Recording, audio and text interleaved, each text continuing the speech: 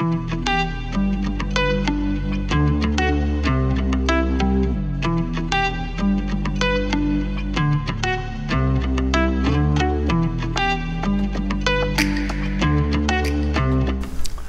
이북의 공문예술가 황영준 화백은 1919년도에 태어났습니다. 어, 일제강점기에 태어나신 분이고 지금은 작곡하셨습니다.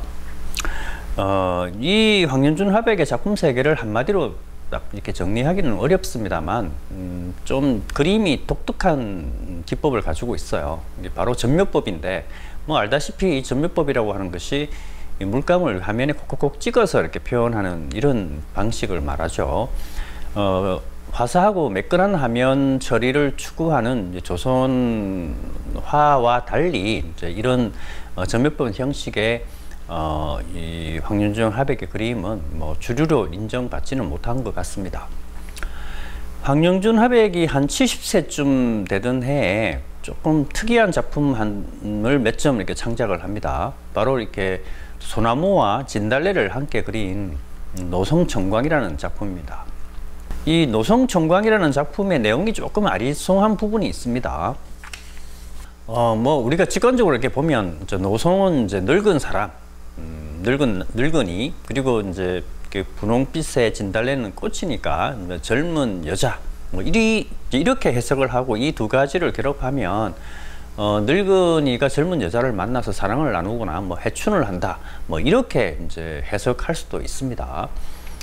어, 하지만 이제 이 그림 속의 노성을 이렇게 자세히 보면 원래 노성이라고 하는 것이 그 이 몸통이 이제 뭐 이렇게 파이거나 아니면 뭐 이렇게 찢겨 나가거나 아니면 어 뭐 이렇게 껍질이 벗겨져 있거나 그리고 어 줄기도 부러지고 이파리도 이제 갈색으로 변하고 또 듬성 듬성 듬성 이렇게 나는 것이 일반 이제 노성을 표현하는 방법인데 그림을 자세히 보면 어, 그런 일반적인 노송의 모습과는 전혀 관련이 없이 굉장히 우람한 기둥에 아주 이, 이 푸른 파릇파릇한 푸른빛을 내고 있죠.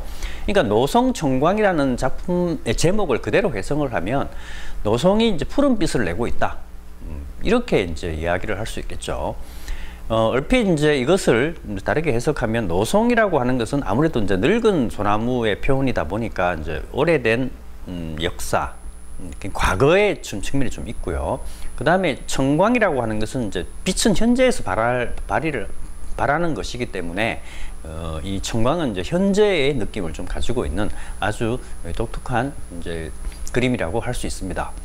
노송이라고 해놓고 왜 이렇게 아주 그 우람하고 아주 그 전성기의 소나무를 그렸을까? 이제 이게 좀 궁금한 부분인데 앞서 그 황윤준 화백은 1919년도에 태어나서 어릴 때부터 그림을 그리고 작품 활동을 하신 분입니다.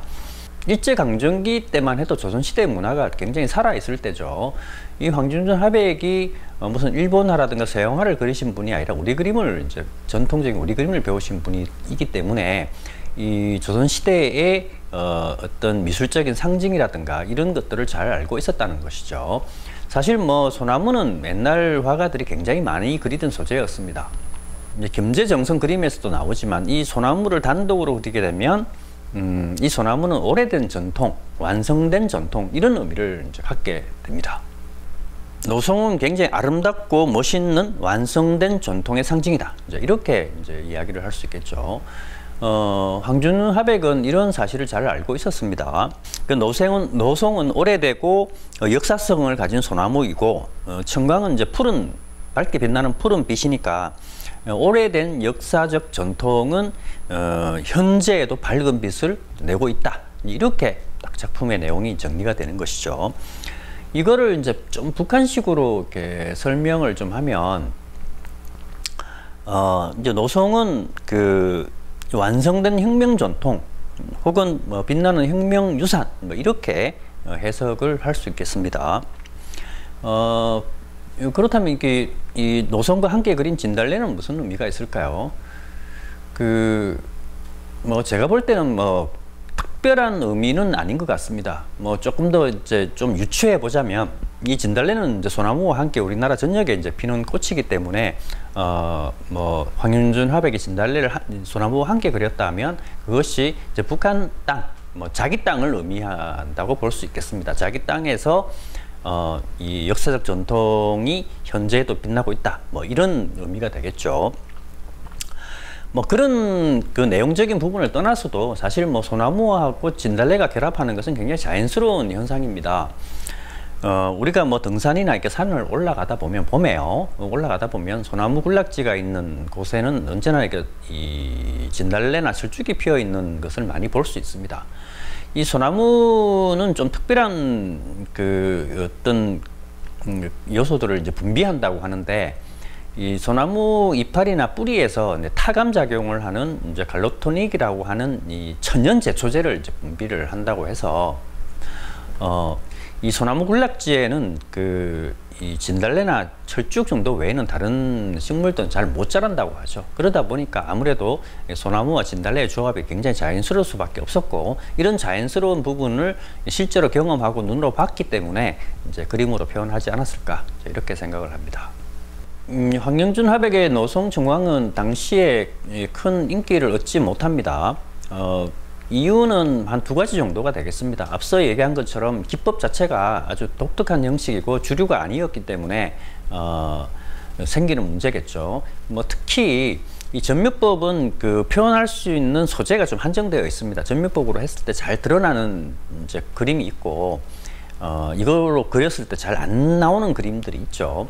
이 소나무와 이 진달래는 전묘법으로 표현했을 때 이렇게 느낌이 썩 이렇게 좋다고 볼 수는 없습니다. 이제 그런 측면이 이제 하나가 있고요. 또 하나는 시대적 상황인데 이 1990년대라고 하는 것이 우리가 알고 있다시피 북한에서는 고난의 행군 시기입니다.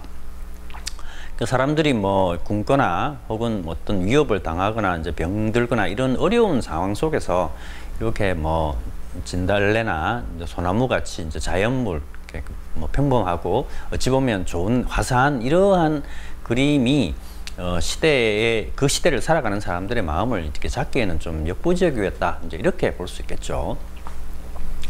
그런데 한 10년 정도가 지난 이후에 이 황윤 화백의 노성청광이라는 작품이 새롭게 이제 부활을 합니다. 이제 이것을 부활시킨 사람이 바로 전영화백입니다. 전정 화백은 그 1962년생으로 그 황영준 화백하고는 거의 한 43년 정도의 나이 차이가 있습니다. 어, 전정 화백은 이제 자강도에서 태어났고요. 음, 평양미술대학 조선화학과를 졸업을 했습니다. 2002년에는 공문예술가, 그 이후에는 인민예술가 칭호를 받으면서 뭐 북한을 대표하는 화가 중에 한 명으로 어, 성장을 했습니다. 우리나라에는 소나무화가로 알려져 있습니다. 소나무를 전문적으로 그리는 소나무화가 뭐 이렇게 전용화백이 알려져 있죠. 어, 뭐 다른 화가들도 좀 비슷한 측면이 있습니다만 전용화백도 처음부터 소나무를 그린 것은 아니고요. 처음에는 이제 풍경화를 많이 그렸다고 하는데 이 소나무 그림을 선택하고 여기에 이제 집중을 하면서 어, 굉장히 이제 인기를 얻게 되죠. 해외 세계적인 명성도 얻게 되고요. 전연화백의 소나무 그림의 뿌리는 어, 황영준 화백의 노성 정광에 있습니다. 소나무를 그리는 화가들은 많이 있는데 이, 이, 이 황영준 화백은 소나무와 진달래를 함께 조합을 해서 그렸단 말이죠.